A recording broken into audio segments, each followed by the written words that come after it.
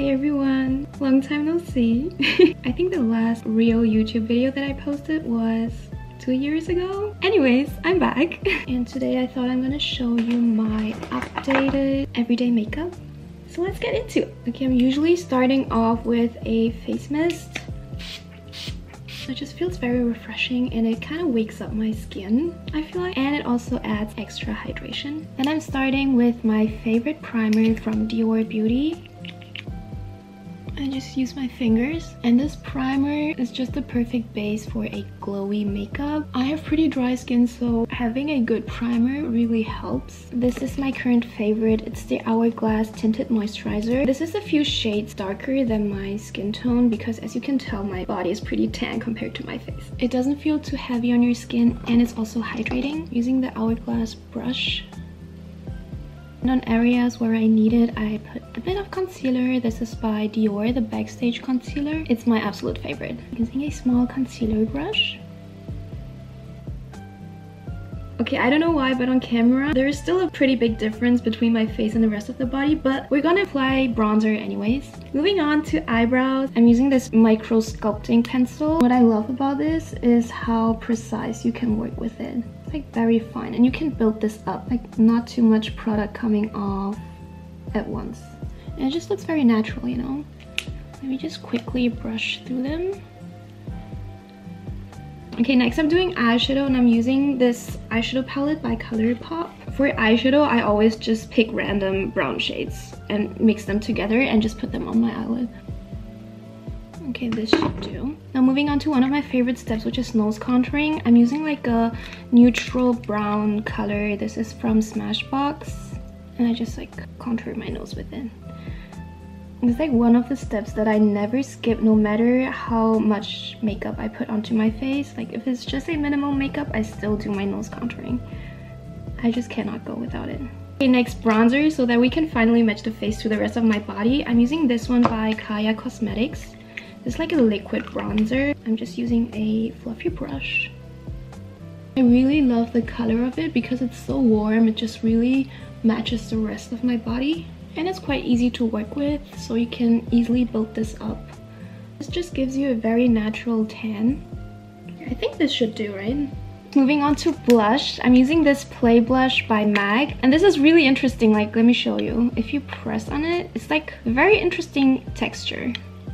Feels very soft, like Play-Doh. Anyways, I'm using a brush to apply this. doing it onto the apples of my cheeks and also on the nose.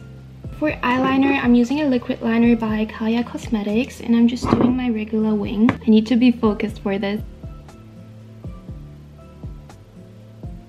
I think it turned out okay. Next for mascara, this is one of my favorites. So first of all, I like to curl them. I have pretty short and straight Asian lashes, so there are not a lot of mascaras that work for me. And this is one of the mascaras that I really like. It's by Clio. Let me just show you the difference.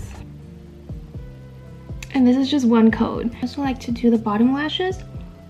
Okay, sorry, my camera just died, but now we're back. You guys can see the difference, right? Yeah. What I also like to do is just take a black pencil liner and tightline my upper waterline. This just makes the lashes look a lot more fuller. I'm gonna quickly do the other eye. Okay, eyes are done. I also like to use some highlighter. I have this one by Florasis. This used to be like a super pretty rose petal, but um, you can't really see it that much anymore. This highlighter is so pigmented, you have to be careful not to put on too much. Okay, so I'm just gonna you see it was just one stroke and it's like already let me just blend this out a bit. This is like super intense. So you have to be careful with this. And also some of my nose and cupid's bow. Now moving on to lips. I like to I cover them with the rest of my beauty blender first. My lip combo always changes a bit but right now what i really like to do is uh, this lip pencil by nyx it's in nude truffle and i like to overline my lips then I'm using this MAC Locked Kiss ink. This is just a matte liquid lipstick. And I fill this into the center of it and I just blend it out. And this color is so, so gorgeous. I love it. So we can either leave it as it is, but right now I love gloss. So I'm gonna top it off with a clear gloss. You can use any clear gloss that you have. And I just like to top it off. Somehow every time I finish my makeup, I reapply my blush because I feel like it's fading. Like it's going somewhere else. It's leaving my face. So I always have to reapply it. And then for the last step, some fixing spray. I'm using this one by MAC.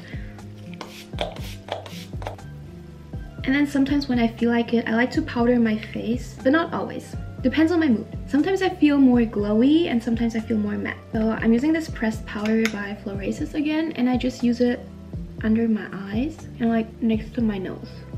And then a little bit on my forehead. And that's basically it. This is my everyday makeup. It was really fun to sit down and talk to you guys and film another youtube video. So yeah. I had a lot of fun. I hope you guys enjoyed this video too and i'll see you in my next video